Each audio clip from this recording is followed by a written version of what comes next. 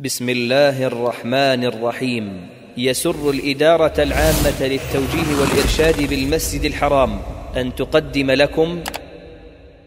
بسم الله الرحمن الرحيم. الحمد لله رب العالمين.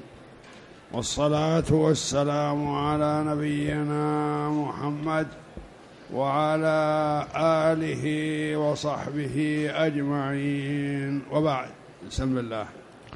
بسم الله الرحمن الرحيم. الحمد لله رب العالمين والصلاة والسلام على نبينا محمد وعلى آله وصحبه أجمعين.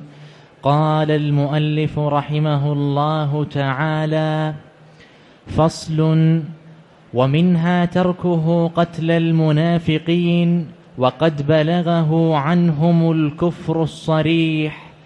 فاحتج به من قال لا يقتل الزنديق إذا أظهر التوبة لأنهم حلفوا لرسول الله صلى الله عليه وسلم أنهم ما قالوا. وهذا إذا لم يكن إنكارا فهو توبة وإقلاع. وقد قال أصحابنا وغيرهم ومن شهد عليه بالردة فشهد أن لا إله إلا الله وأن محمد رسول الله لم يكشف عن شيء عنه بعد. وقال بعض الفقهاء إذا جحد الردة كفاه جحدها. ومن لم يقبل توبة الزنديق قال هؤلاء لم تقم عليهم بينة. ورسول الله صلى الله عليه وسلم لا يحكم عليهم بعلمه والذي بلغ رسول الله صلى الله عليه وسلم عنهم قولهم لم يبلغه إياه لم يبلغه إياه نصاب البينة بل شهد به عليهم واحد فقط كما شهد كما شهد زيد بن أرقم وحده على عبد الله بن أبي وكذا على عبد الله بن أبي وكذلك غيره أيضا إنما شهد عليه واحد. قول المؤلف رحمه الله تعالى فصل ومنها يعني من الفوائد التي استفيدت من غزوة تبوك وما حصل فيها تركه قتل المنافقين الذين اتفقوا على الإطاحة برسول الله صلى الله عليه وسلم ورميه من أعلى العقبة إلى أسفلها حتى لعله يموت في هذا. فبعض العلماء رحمه الله يقول هذه جناية عظمى لكن رجوعه وإنكار إياها يعتبر توبة. فتقبل توبة الزنديق. ومنهم من قال لا لم لا تقبل توبة الزنديق. لكن هذا ليس بجرم كبير لكنه لكنه لم يثبت. لأنه لم يثبت عليهم ولو ثبت عليهم لاستحقوا القاتل. لو ثبت عليهم هذا الفعل لاستحقوا القتل. فالرسول صلى الله عليه وسلم ما سمع الشهادة التي تشهد عليهم بذلك إلا من واحد والواحد لا يكفي شاهدا في قتل هؤلاء. اقرأ فصل ومنها تركه قتل قتال المرتدين. نعم المنافقين. ومنها ومنها تركه قتل المنافقين وقد بلغه عنهم الكفر الصريح. المنافق لا يقتل وإن بلغه بلغ الإمام عنه الكفر الصريح لكونه لم يقر بهذا. ولم يشهد عليه أحد بهذا ولا يكفي أن يقر ذلك عند الإمام فالإمام لا يؤخذ بقوله لكونه عليه هذا الشيء وإنما حتى يشهد بقوله جماعة من الشهود ولم يكمل الشهود على رواية هذا لم تثبت الشهادة واضحة عليهم. ومنها تركه.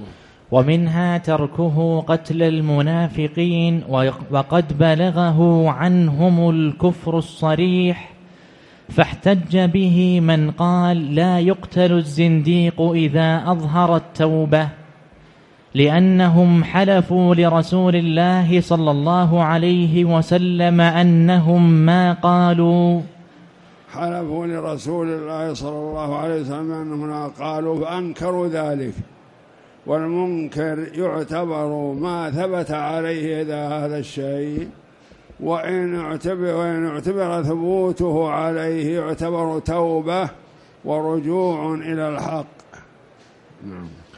وهذا إذا لم يكن إنكارا فهو توبة وإقلاع. توبة وإقلاع عما أقدموا عليه. نعم. وقد قال أصحابنا وغيرهم ومن شهد عليه بالردة فشهد أن لا إله إلا الله وأن محمد رسول الله لم يكشف عن شيء عنه بعد. لم يكشف لم يسأل. لم يكشف عن شيء عنه بعد. إذا شهد أن لا إله إلا الله وأن محمد رسول الله هذا يعتبر توبة. وإقرار بالشهادتين وإذا أقر بالشهادتين رجع إلى الإسلام. فيقال الزنديق إذا شهد أن لا إله إلا الله وأن محمد رسول الله يطلق سراحه ولا يقتل. نعم. وقال بعض الفقهاء إذا جحد الردة كفاه جحدها. إذا جحد أنه قال كلاما يرتد به عن الإسلام جحد هذا فإنه يكفيه ذلك يعتبر توبة ويعتبر ما ثبت عليه ذلك. والنبي صلى الله عليه وسلم أمرنا بأن ندرأ الحدود بالشبهات. كلما وجد حد يوجب قتل المرء فإننا ندرأه بالشبهة التي تدل على أنه ما قل ما قال ذلك. فإنكاره للكفر وإنكاره للنفاق يكفيه ما دام ما ثبت عليه ثبوتا شرعيا. ومن لم يقبل توبة الزنديق قال هؤلاء لم تقم عليهم بينة ورسول الله صلى الله عليه وسلم لا يحكم عليهم بعلمه الرسول عليه الصلاة والسلام لا يحكم بعلمه وإلا فالوحي يأتيه من السماء لكنه لا يحكم بعلمه فما ثبت بالشهادة أقيم عليه وما لم يثبت به شهادة لم يقم عليه الحد.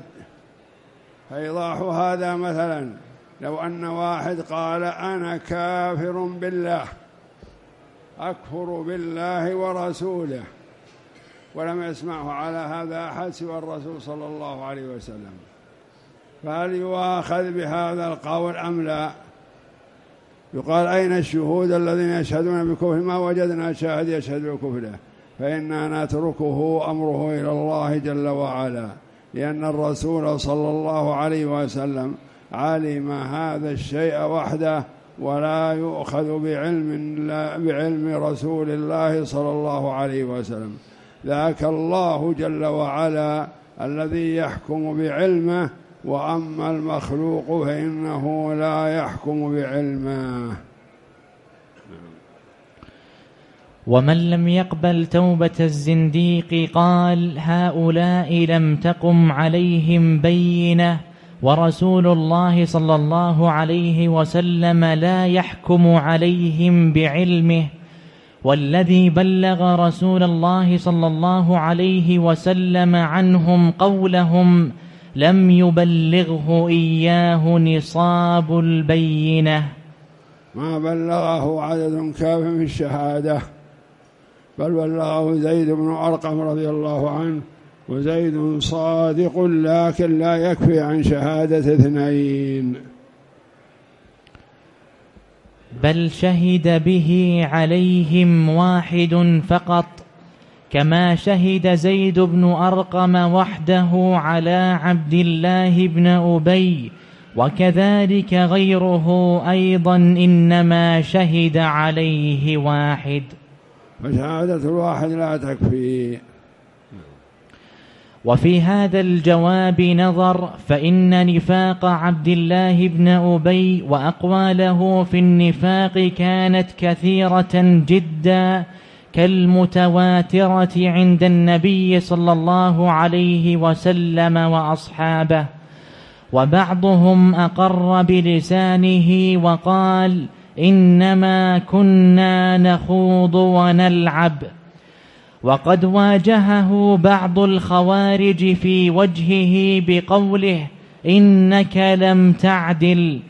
والنبي صلى الله عليه وسلم لما قيل له ألا نقتل ألا تقتلهم؟ لم يكن ما ق... لم يقل ما قامت عليهم بينة بل قال لا يتحدث الناس أن محمدا يقتل أصحابه. فهذا اعتراض على من قال إنها لم تقم البينة عليهم بالكفر. يقول لو قامت عليهم البينة بالكفر فلم يقتلهم لأنه يخشى أن يتحدث الناس أن محمدا التفت إلى أصحابه وبدأ يقتلهم.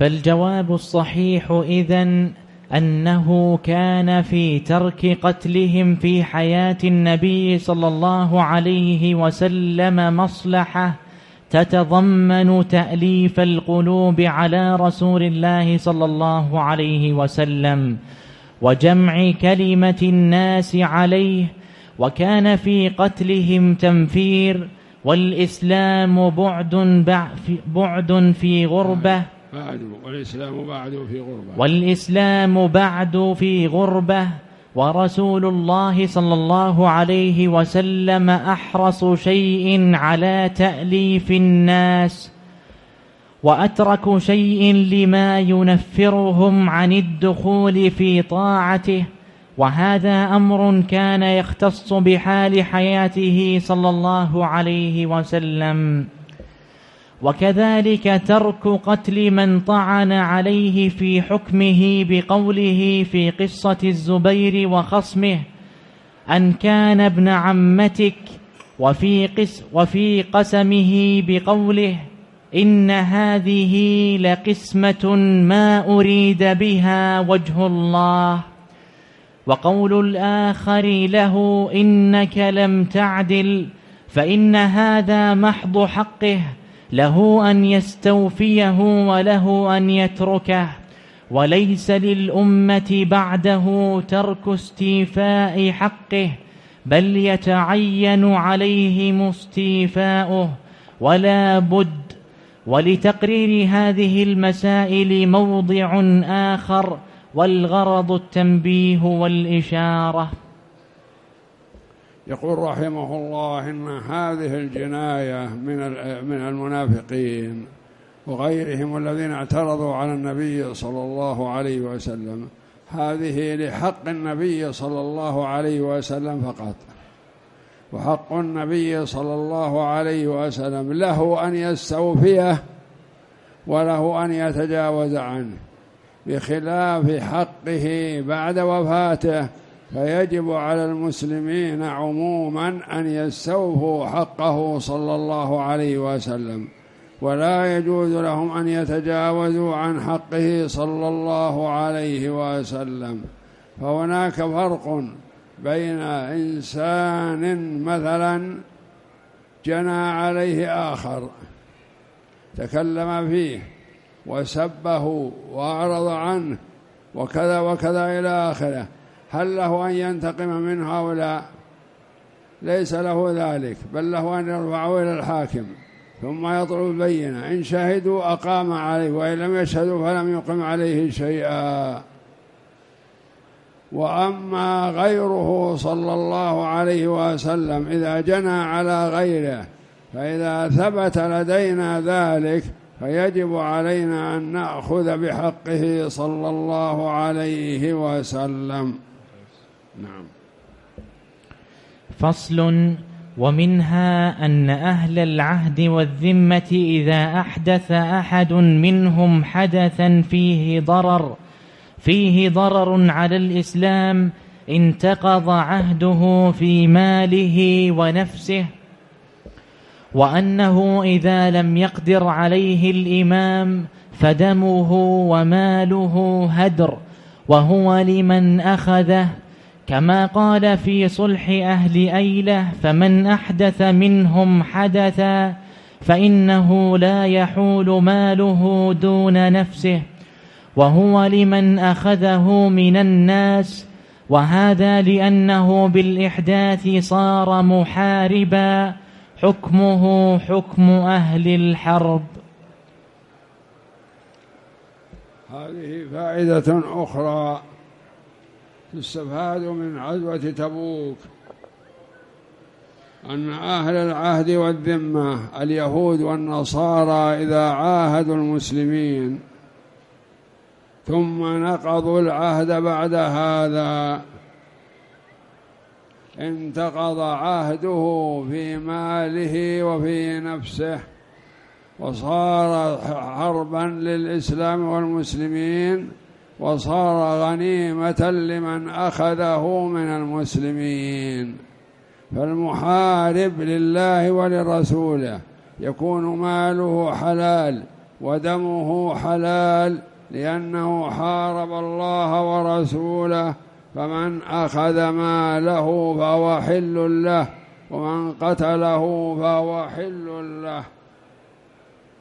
ولعل هذه أخذها المؤلف ممن خان العهد من أهل الذمة من اليهود أو النصارى.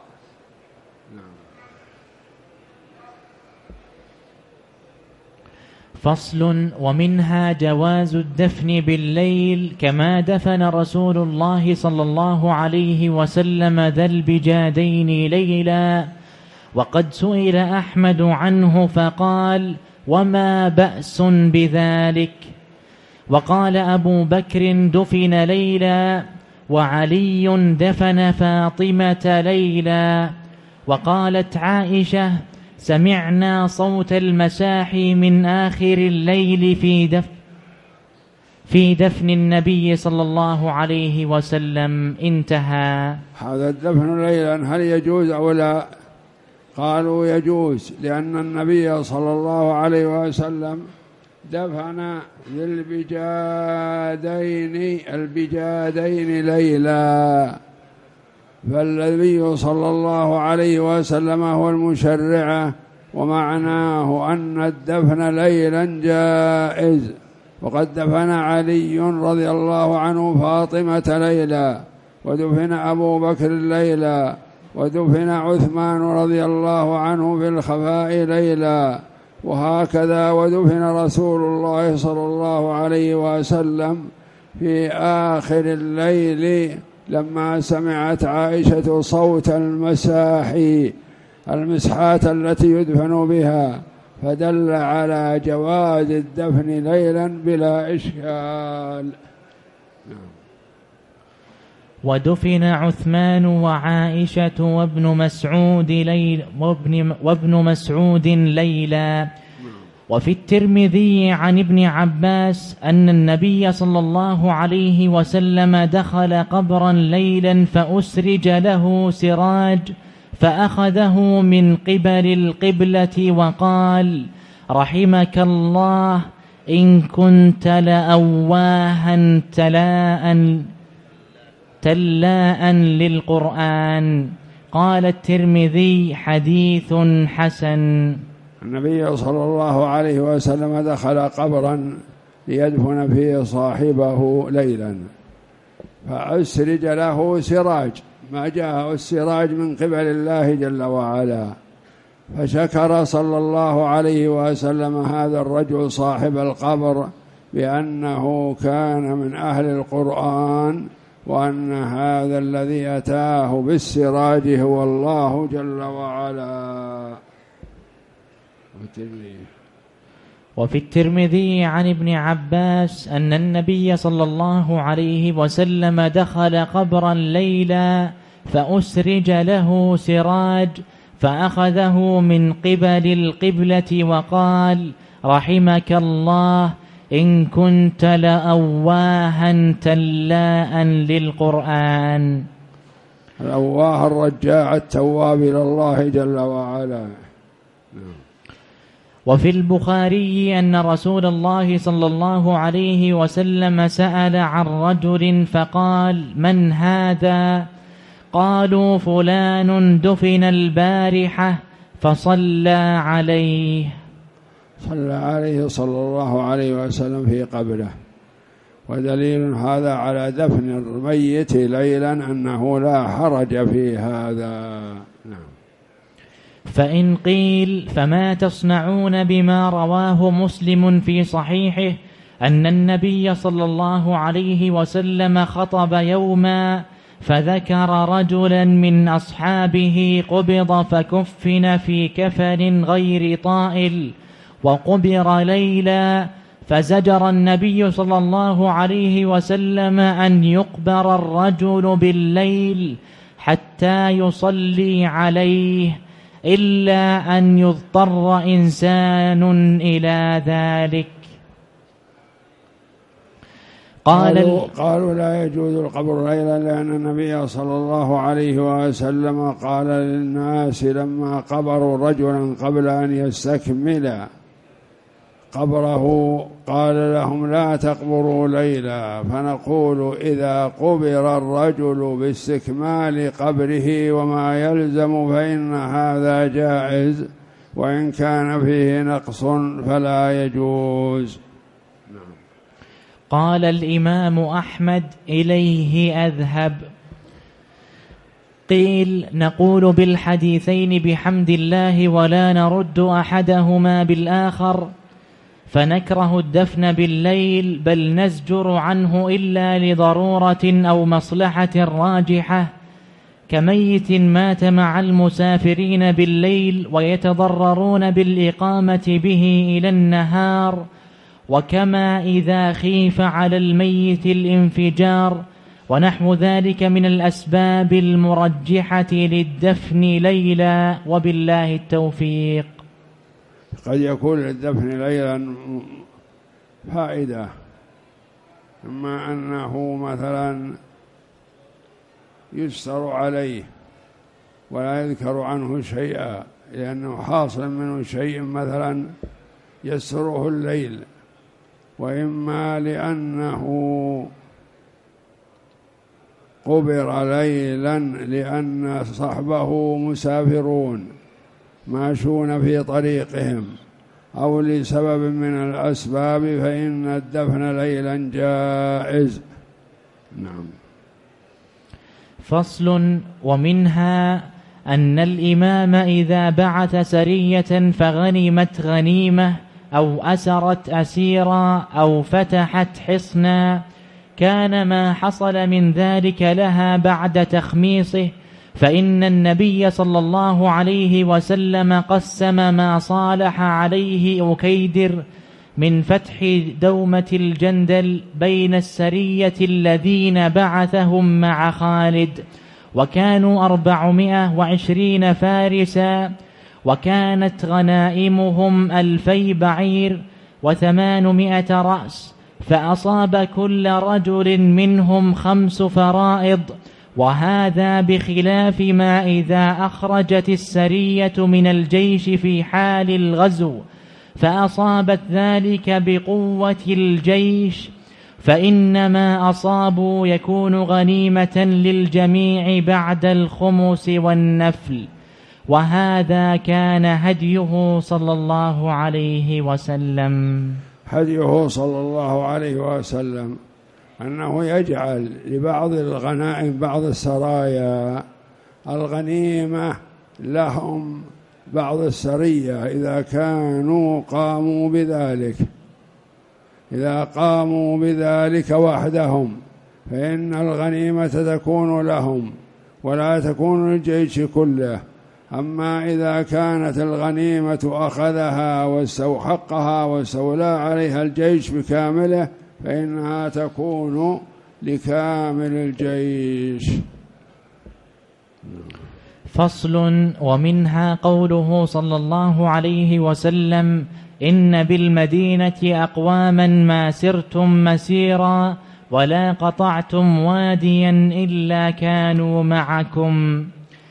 فهذه المعية هي بقلوبهم وهممهم لا كما يظنه طائفة من الجهال أنهم معهم بأبدانهم فهذا محال لأنهم قالوا له وهم بالمدينة قال هو هم بالمدينة حبسهم العذر وكانوا معه بأرواحهم وبدار الهجرة بأشباحهم وهذا من الجهاد بالقلب وهو أحد مراتبه الأربع وهي القلب واللسان والمال والبدن.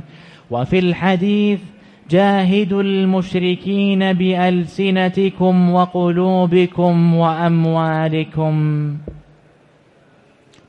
من هذا أن بعض الصحابة رضي الله عنهم كانوا بالمدينة.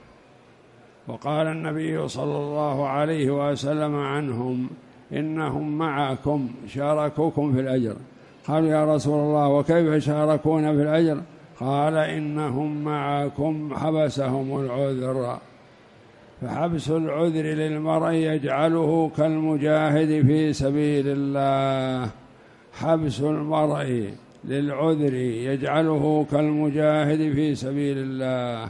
وليس معنى هذا أنهم معهم في الجهاد والقتال فليس كذلك بل هم في المدينة والمجاهدون في تبوك ما أحد قريب من أحد وإنما هم شركوهم في الأجر لهمتهم العالية وصحبتهم للمسلمين وكونهم معهم في قلوبهم ويدعون لهم بالتوفيق والسداد وهكذا. هذا وأرجو الله جل وعلا. أن يمن علي وعليكم بالعلم النافع والعمل الصالح. وأن يجعلنا جميعا من الهداة المهتدين. إنه سميع مجيب.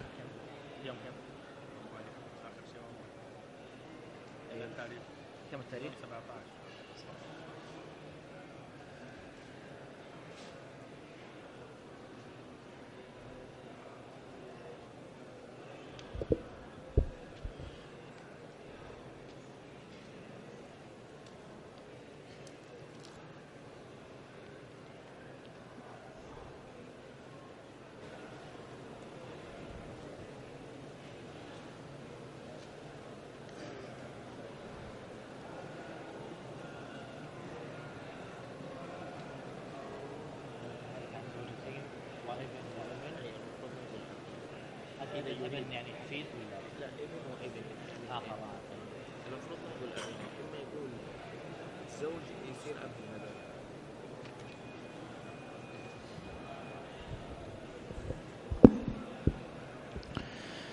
يقول السائل هل هناك فرق بين الزنديق والمنافق؟ نعم يا أخي هناك فرق.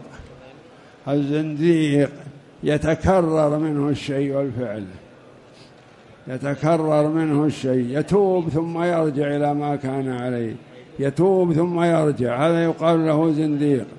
وأما المنافق فهو غالبا على ما هو عليه.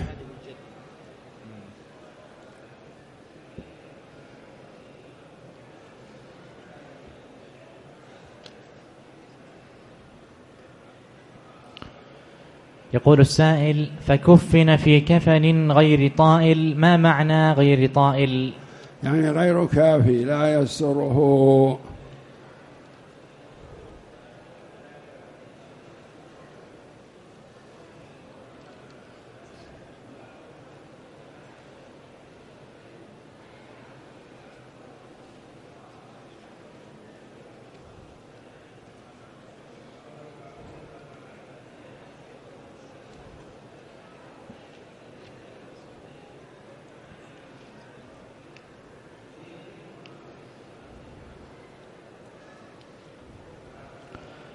يقول السائل جاء, جاء من الجزائر واعتمر عن نفسه ويريد أن يخرج ويحرم من التنعيم ويعتمر عن أمه المريضة فهل يجوز هذا؟ جوز هذا بعض العلماء ومنعه بعض العلماء ولعل الجواز أقرب ما دام أنه يعتمر يأتي بعمرة كاملة من التنعيم فلا بأس عليه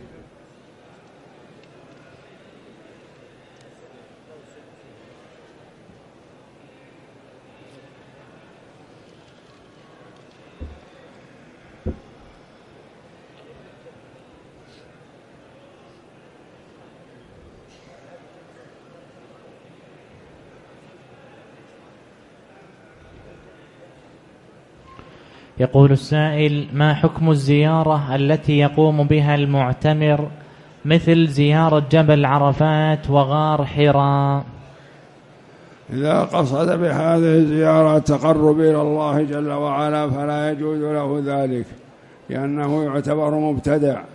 وإذا قصد بذلك الاطلاع والمعرفة ومعرفة الشيء فلا بأس عليه لأنه يعتبر من باب العادة والاطلاع.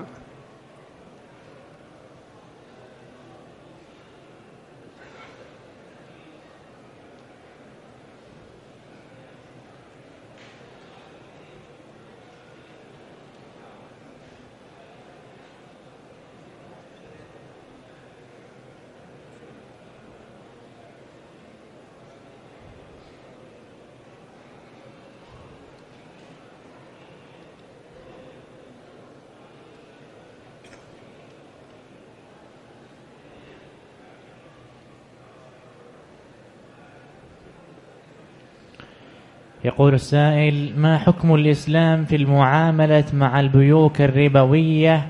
وما الحل إذا أراد الإنسان أن يطهر ماله من الربا؟ المعاملة مع البنوك الربوية لا يجوز للمسلم أن يتعامل معهم في معاملة ربوية. وأما التعامل معهم تعاملا صحيحا فلا بأس بذلك لأن النبي صلى الله عليه وسلم اشترى من اليهودي آصع من شعير لأهله وحال مرضه. اشترى آصع من شعير حال مرضه واليهود يتعاملون بالربا ولا يتوقفون عنه. فالمسلم إذا تعامل مع البنوك الربوية معاملة صحيحة فلا بأس عليه. وأما إذا تعمل مع البنوك معاملة فاسدة فالفساد يطفون عليه. وإذا أراد الإنسان أن يطهر ماله من الربا يبتعد عن الربا. الربا بين. الربا بين. يبتعد عنه ويطهره. وإذا أراد أن يتصدق بشيء من ماله تطهيرا له فالزكاة تطهر المال. هذا سؤالين ترى مستقلات.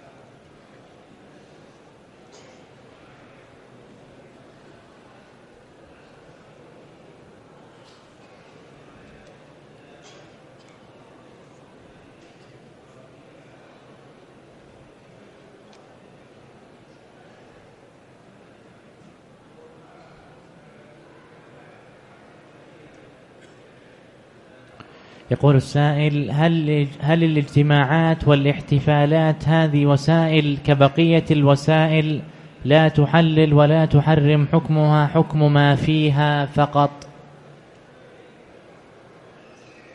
الاجتماعات والاحتفالات لا تخلو.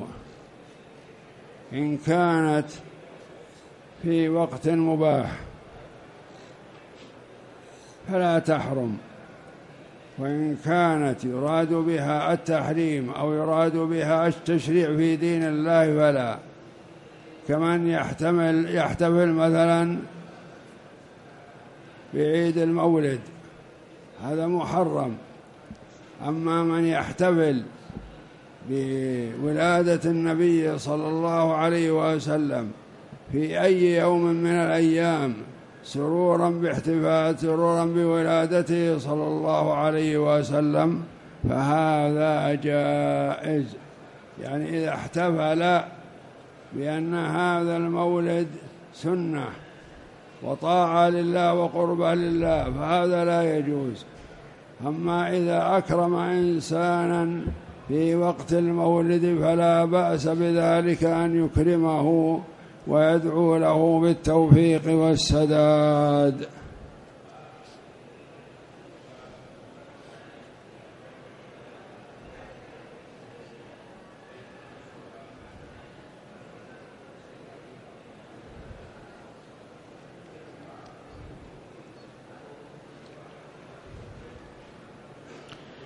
يقول السائل هل سب الدين يعتبر ردة؟ وقد قالها لفظا.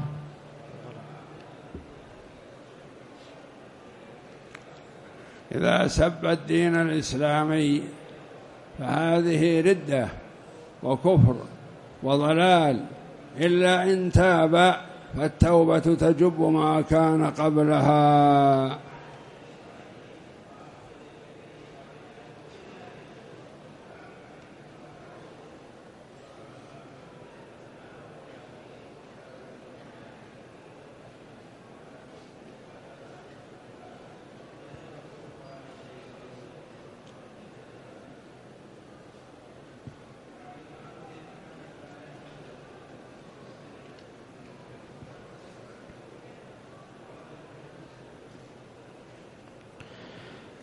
يقول السائل جئت من الجزائر واعتمرت عن نفسي وأريد أن أعتمر عن الوالد وهو متوفي فما الحكم؟ يحسن بالإنسان إذا أراد أن يعتمر عن غيره أن يخرج من مكة إلى المدينة مثلا لزيارة المسجد النبوي فإذا عاد من المسجد النبوي إلى مكة فيعود إلى مكة بعمرة عمن شاء. يعني العمرة يحسن أن تكون عائدا من راجعا إلى المكة متقدما جاء للمكة خاصة بهذا الشيء. أما أن تخرج وأنت في مكة تخرج لتعتمر فهذا محل إشكال وخلاف بين العلماء رحمهم الله.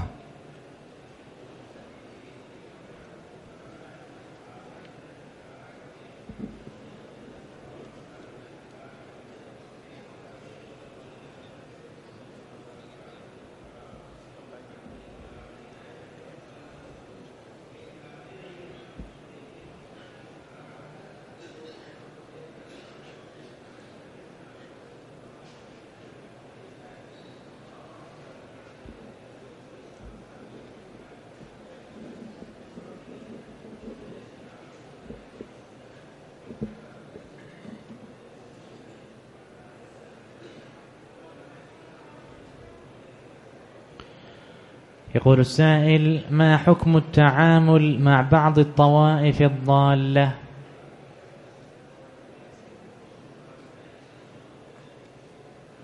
التعامل مع بعض الطوائف الضالة فيما يتعلق بضلالهم. لا يجوز للمسلم ذلك. أما ما لا يتعلق بضلالهم في البيع والشراء مثلا خرافي أو مبتدع تشتري منه منزل أو دار أو أرض. كل هذا جائز لأنه لا علاقة لذلك. أما أن تشجعه على ضلاله هذا فلا يجوز للمسلم ذلك.